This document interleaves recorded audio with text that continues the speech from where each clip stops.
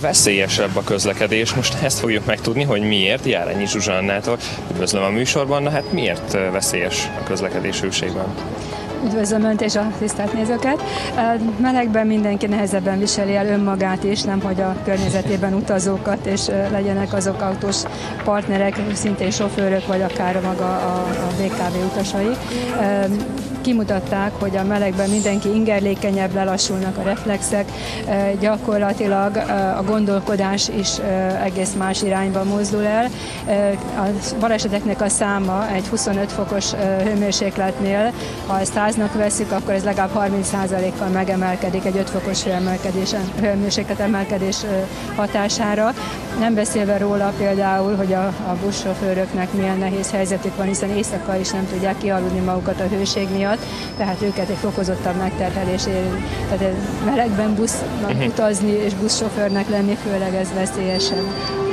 Tehát akkor mindenféleképpen van összefüggés a meleg és a balesetek száma között? Hogyne. Figyelmetlenebbek vagyunk, lassabbak a reflexek, nem veszük észre azt, hogy ö, valaki éppen ö, kirakta az indexét, vagy nem indulni akar, vagy megállni, uh-huh. úgyhogy nehezebb követni a változásokat. És mit javasol akkor ön ö, ilyenkor az autósoknak, vagy akár a buszsofőröknek? Mindenféleképpen fontos az éjszakai pihenés, ez megoldható, és hát maga az útra való felkészülés.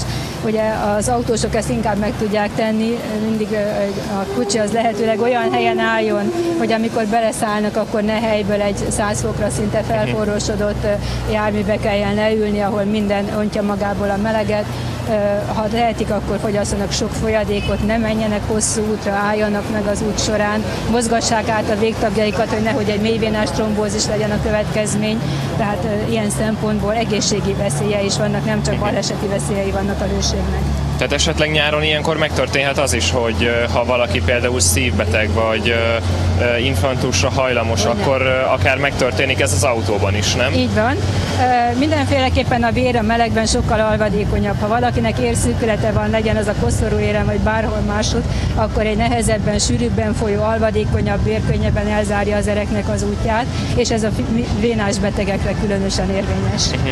És mit érdemes akkor nekik ilyenkor tenni? Hát ha csak tehetik, akkor hűvös szobában, lesötétített szobában legyenek bőfolyadékbevitellel, végtagokat helyezzék magasra, és hát főleg ne felejtsék el a gyógyszereiket bevenni. A hosszabb utazásokat tervezzék olyan időszakra, amikor az időjárás nem ilyen trópusi, majdnem szaharai, mint amilyen a mostani napokban is van. Az autóban általában mi a, a mostanában a, a leginkább ismert, hogy inkább klímás autókat vásárolnak a magyar emberek, vagy nem klímás autókkal hát, rendelkeznek. Hát, nagyon, nagyon polarizált a dolog, aki megteheti, az egyértelmű, hogy klímás autót vesz, hiszen a lakásokban is már egyre több helyen alkalmazzák a klímás ütéseket, de hát akinek ez anyagilag nem telik, akkor azért még elég sok magyar autó fut klíma nélkül, aminek ugye megvannak a veszélyei. A klímában azért például, mert sokakat allergizál, és egy allergiás tűzszögős, orfolyós tünet is elvonhatja a figyelmet. Hát a klíma nélküli autóban meg egész egyszerűen a hőség szinte elviselhetetlen uh-huh. ilyenkor. És a klímának milyen veszélyei vannak? Egészségügyi szempontból. Egészségügyi szempontból ugye, ha valaki nem tisztítatja ki a klímát, abban olyan kórokozók szaporodhatnak fel, amelyek komoly légúti betegségeket okozhatnak az allergián kívül, komolyan tüdőgyulladással is fajulhat a dolog, amit nagyon nehéz aztán gyógyítani. Tehát mindenféleképpen oda kell figyelni, hogy a szezon beindulása előtt a klímát ki kell tisztítatni. Mhm. Mi mindent okoz egyébként a melegben történő autózás vagy buszozás? Hát azon kívül, hogy fejfájást okozhat, a vérnyomás fölemelkedik, a, a, a stressz hatás, ez szívizom, szívkoszorú összehúzódás, vér összehúzódásra is vezethet.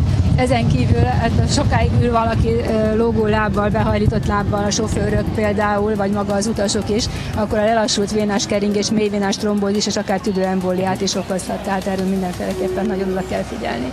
Mostanában azért azt hallhattuk a híradásokban, hogy elég sok baleset történt a buszokon is, ugye a nagy melegnek köszönhetően, mint akik a BKV-t használják, vagy akár tömegközlekedéssel mennek, azoknak mit javasol? Hát ők is, a tehetik, akkor a, a reggeli és az esti órákat választák az utazásukra. Nagyon figyeljenek oda az autóknak a jelzésére, arra, hogy hogy lépnek le. Ha éppen egy fájdalom áll a lábukba, akkor, akkor várják meg, amíg ez, ez megszűnik, és utána menjenek tovább. Tehát mindenféleképpen a környezeti ártalmakat igyekezzenek ilyen szempontból kikapcsolni. Uh-huh. És mindenképpen ugye a legfontosabb az az, hogy frissítsük magunkat igen sok folyadékkal. Hát a folyadékbevitel az normális hőmérséklet mellett és napi másfél-két liter az ideális. Ez természetesen nem könnyű bevinni, de ilyen nagy hőségben az illadással és a párolgással sokkal nagyobb folyadék mennyiség vész el.